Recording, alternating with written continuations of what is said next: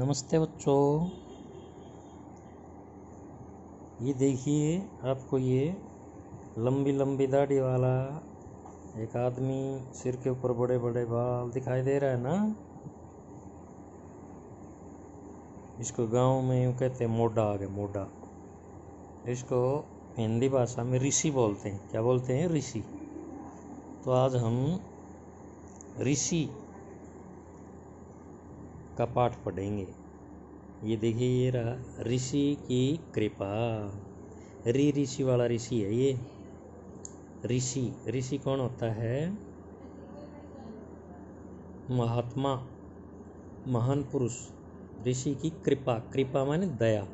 कह के नीचे जो ये लगी हुई है ना, ये री की मात्रा है। जैसे देखो, री की मात्रा, ये ये ये दिखाई देने लगी। मात्रा ये होती है। ये रही। तो आज इसके बारे में पढ़ेंगे हम ऋषि की दया। ऋषि ने क्या दया की? मृग। मैं का नीचे की मात्रा मृ और ग, मृग। मैं का नीचे की मात्रा और ग, मृग।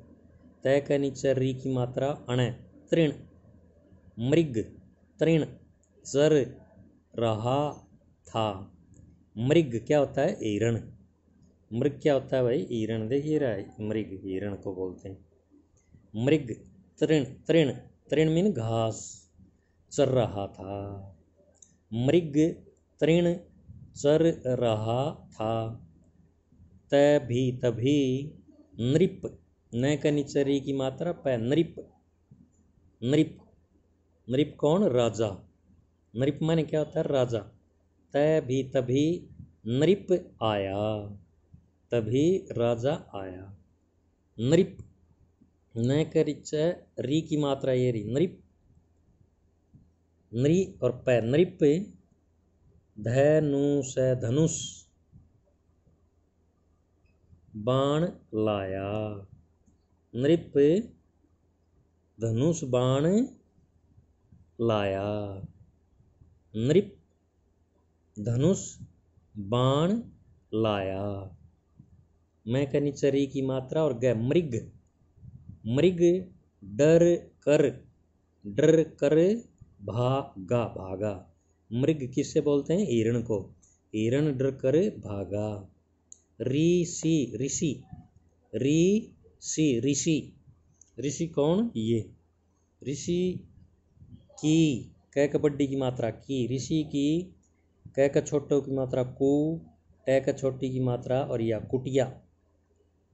खुली थी। ऋषि की कुटिया खुली थी। मैं कनिचरी की मात्रा ग, मृग छिप गया। मृग छिप गया। न कनिचरी की मात्रा प, नृप आया। नृप आया। पर ऋषि की बात सुनकर वापस वापस चला गया। आओ एक बार दोबारा पढ़ते हैं इसको। ऋषि की कृपा। ऋषि की कृपा। कृपा में क्या होती है? दया। मृग तृण सर रहा था। मृग तृण सर रहा था। मृग माने हिरण, तृण माने घास। चर चरने का मतलब समझते हो ना? खाना। रहा था। मृग तरण चर रहा था। तभी नृप आया। नृप कौन? राजा। तभी नृप आया। तभी राजा आया। नृप नृप धनुष बाण लाया। नृप धनुष बाण लाया।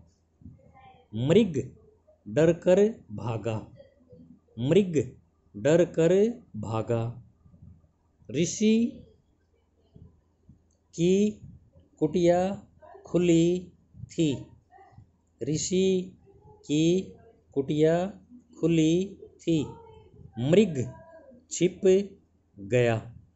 मृग छिप गया। नृप आया।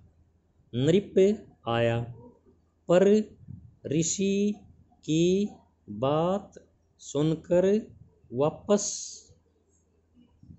चला गया। तो ये री की मात्रा का आपका पाठ है। इस पाठ को आपने पढ़ना है। यह नृप राजा, यह ऋषि और यह है मृग हिरण।